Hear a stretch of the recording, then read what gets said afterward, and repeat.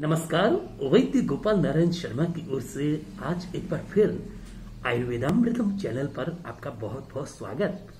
आज हम चर्चा करने जा रहे हैं एक ऐसे योग की जो कि गर्मियों में हमारे बहुत ही उपयोगी सिद्ध होगा। गर्मियों में जैसा कि आप जानते हैं, दस्त की शिकायत रहती है, पेचिश या दस्त लगती है और उसमें पतले दस्त लग सकते हैं या पेट में ऐठन के साथ में आम आता है थोड़ी थोड़ी थोड़ा खून पड़ता है बार बार शौच जाने की इच्छा रहती है और बड़ी परेशानी होती है। अगर इसकी उपेक्षा करते हैं तो फिर बहुत हालत खराब होती है, शरीर में पानी की कमी आ जाती है।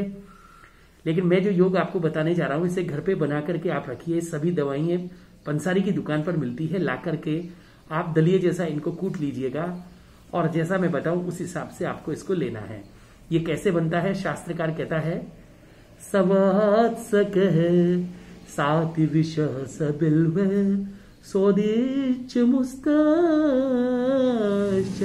कृत कसाय सामे सशूले सहशोणिते चिरवृते हितोतिसार कहते हैं सवत्सका यानी कि कुड़े की छाल। इसी नाम से मिलता है मार्केट में। कुड़े की छाल अतीस साथ में अतीस भी लीजिए सवत्स के साथ ही विषय सबेलवा और कच्चे बेल का कच्चा गूदा, कच्चे बेल का गूदा। सवत्स के साथ ही विषय सबेलवा सौदिच यानी नेत्रवाला और मुस्तक यानी कि नागरमोता।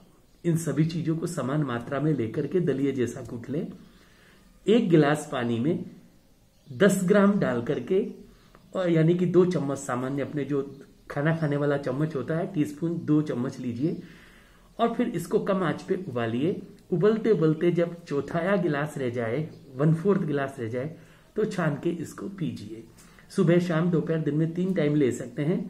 और इसको लेने से आपको ये जितने भी दस्त से संबंधित परेशानी, चाहे दस्त नए हो, पुराने हो पेट में दर्द आकर के हो, बिना पेट में दर्द आकर के हो, पतले हो या आम युक्त हो, खून के साथ हो, सब में आराम मिलेगा।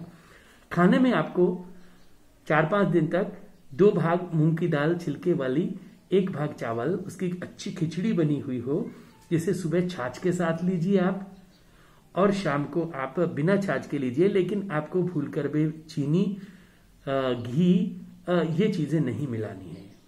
मैं समझता हूँ कि आपके लिए बहुत उपयोगी रहेगा। घर पे आप बना करके रखिए। बहुत सुंदर रहेगा। आपका दिन शुभ मंगलमय हो। नमस्कार।